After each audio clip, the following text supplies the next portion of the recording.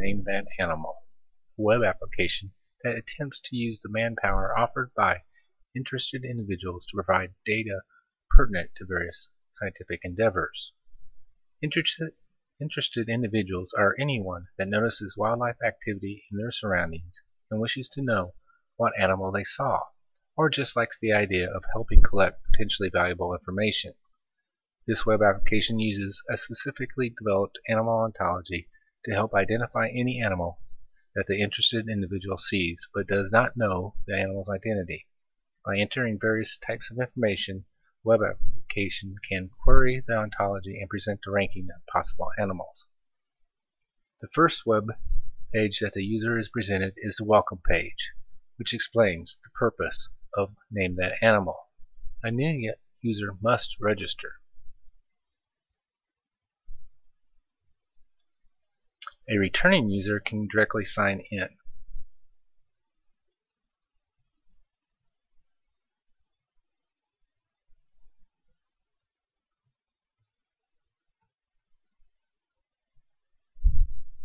The user then is presented with a web page that asks whether they know the identity of the animal sighted.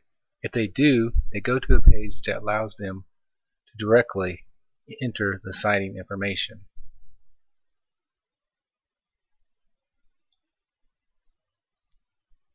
For those that need help in identifying the animal, they need to enter the major class the animal belongs to. For example, the animal is mammal.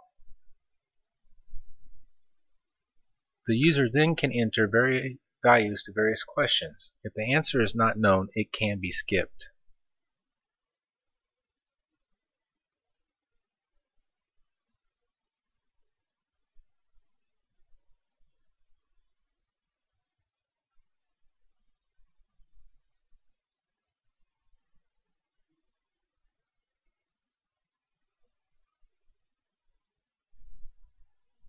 After choosing all known answers, the user clicks on the Submit button.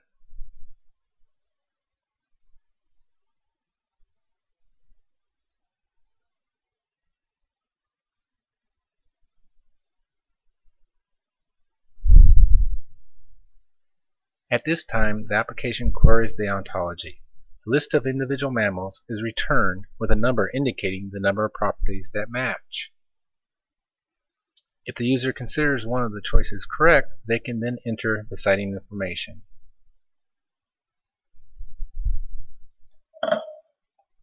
A close inspection of results shown here will show that the true number of matches is not correct. The ontology was adapted just before this video and the web code still needs to be changed to account for this. This will be done shortly. Thank you.